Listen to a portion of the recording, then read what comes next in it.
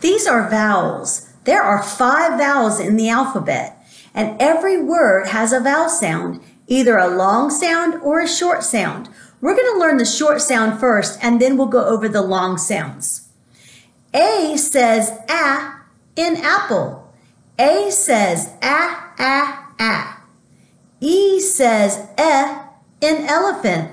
E says e, e, e. I says i in inchworm. I says I, I, I.